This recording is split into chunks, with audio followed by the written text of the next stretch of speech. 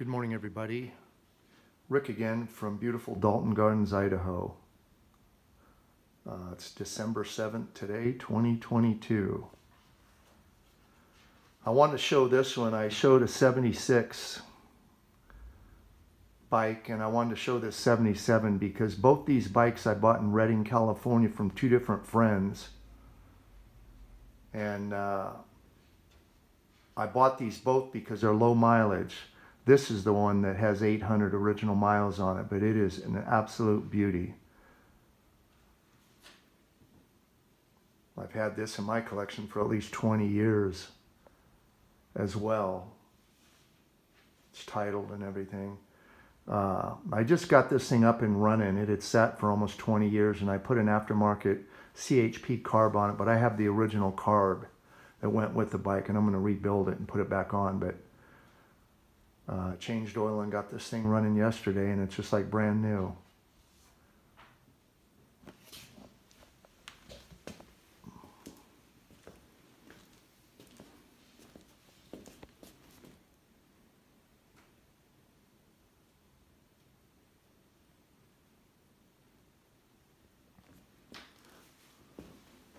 It's funny because people look at the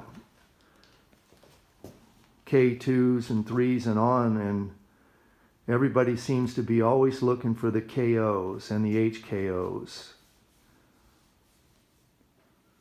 But to me, this is the same exact bike.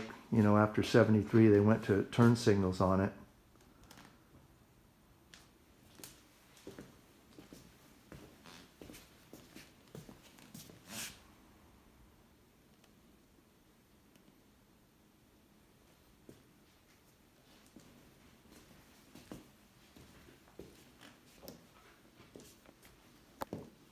Now I've actually got about seven, 73 and 74 bikes out there. All are in need of some work cleaning them up and stuff. But I've just held off working on them because I don't get a lot of people calling me on uh, anything past 72. But the Tahitian Red 76 and this shiny orange 77 are beautiful bikes, as well as the 78, last year the Chrome.